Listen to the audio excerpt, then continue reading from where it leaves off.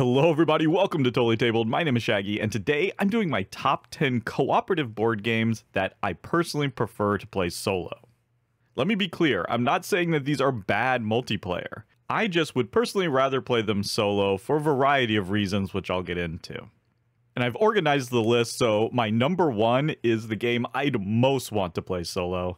And in fact, as you get to the top of this list, it's pretty much the only way I'm going to play these games. Okay, okay, enough talk. Let's get into it. My number 10 is Dorfromantik. This is a cozy tile laying game based on the cozy video game, of course. The great thing about this one is it starts very simple. You're just trying to grow certain regions to a specific size in order to fulfill these goals. And there's really very few restrictions on how you can place tiles. But as you finish playing games, you unlock more stuff that you get to add to the game, kind of like a legacy game. There's all these twists to the rules and new restrictions and different goals you need to meet, which just keeps the game fresh. I have Dorfromantik at number 10 on the list because I do enjoy playing it with two players. But ultimately, it's one of these co op games where when you play with more players, you're just taking turns solving the same puzzle. And that's not necessarily a bad thing. You know, that can be great fun when the puzzle is very complicated or, mm, you know, multifaceted in some way, kind of like an escape room or something. But here, the puzzle is so light, I'd personally rather just make the decisions myself. So anyway, that's number 10, Dorfromantik. Number 9 is The Lost Expedition. This is a simple card game that you can play solo or cooperatively with two players. And pretty much everything I just said about Dorfromantik applies here. The two player game works fine, but for me, this survival puzzle is just more satisfying to tackle alone. You can check out my playthrough to see it in action. This is actually one of the first videos I ever made, so you can see how much has changed over the last three years. But basically, the way it works is you're playing these really beautiful tarot cards into a line, one at a time, sometimes playing cards from your hand and sometimes from the deck. And once you have six of them out, you're going to resolve them in order from left to right. You really need to collect these resources and then use them to avoid all these deadly events that can happen. Things like animal attacks and bad weather or illnesses. And thematically, you're searching the Amazon for El Dorado and certain cards will let you get closer to your goal. And really, you just need to survive until then. The heart of the puzzle is all about this resource management and just puzzling out how to sequence the cards so your actions will trigger in the best order. That's really the kind of puzzle that I want to be in complete control over. I want to figure it out on my own. you know, it's really a one person job, and having two is just you know, just too many cooks in the kitchen. But there you go. That's number nine, The Lost Expedition. Number eight is Sleeping Gods.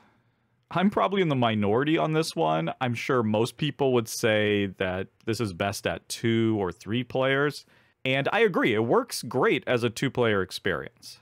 The fact you have nine characters to manage in your party, you know, I completely understand why a lot of people would want to split up that responsibility to be fair, it's not like each of those characters is taking their own turn or have their own actions or something. And so it's not difficult to manage those nine characters.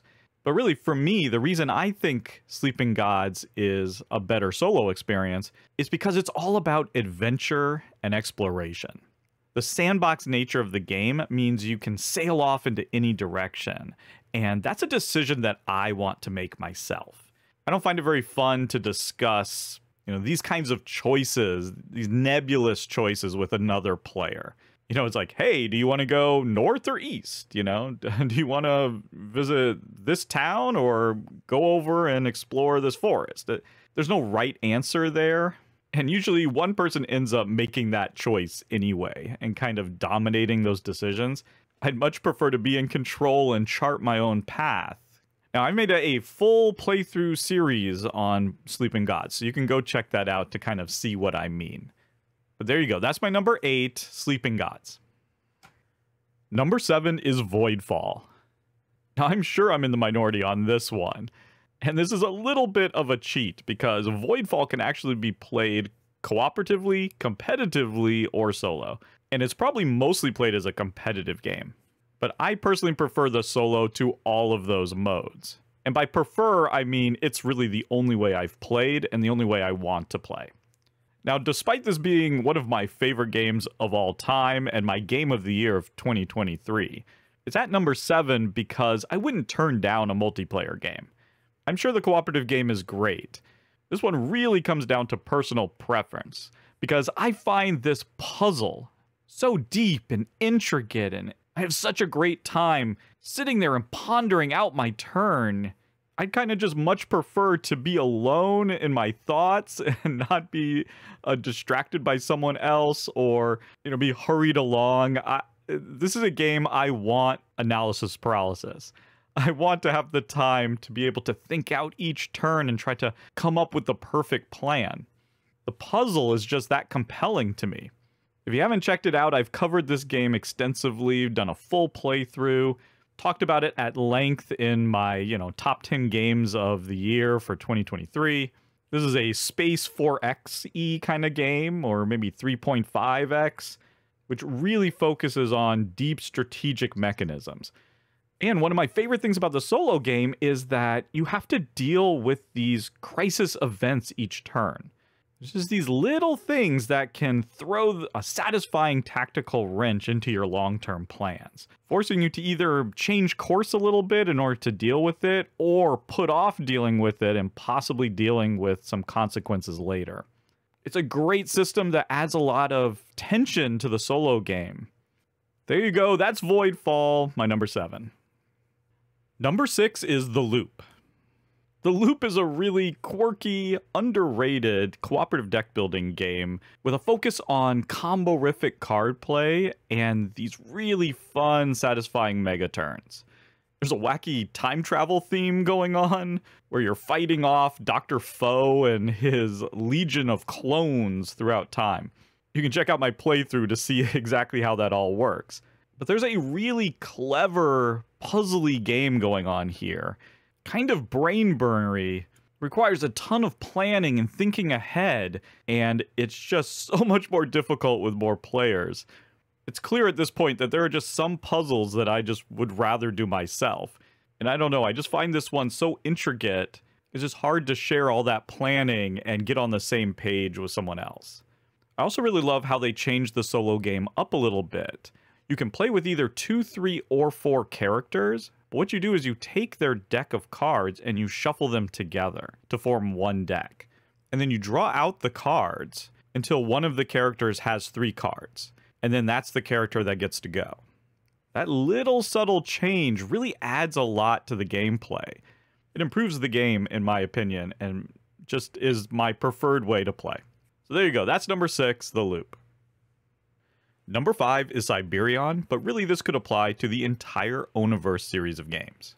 Each game in the series is one or two player, but they always felt to me like solo games where the two player mode was kind of shoehorned in.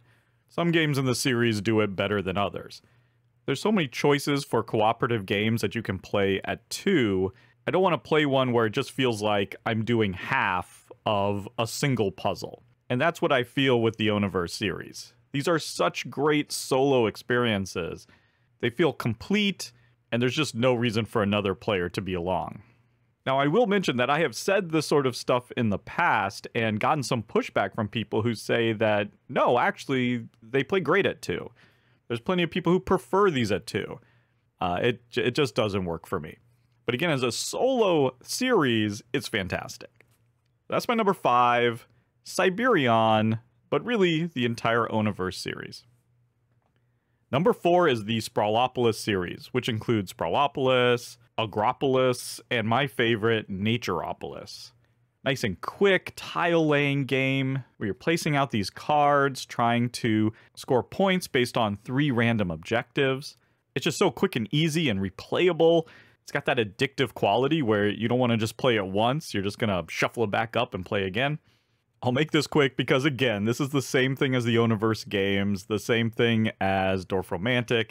When you're playing multiplayer, it just feels like you're taking a puzzle fit for one player and splitting it into parts. Taking turns, and that's not what I want from a multiplayer cooperative experience.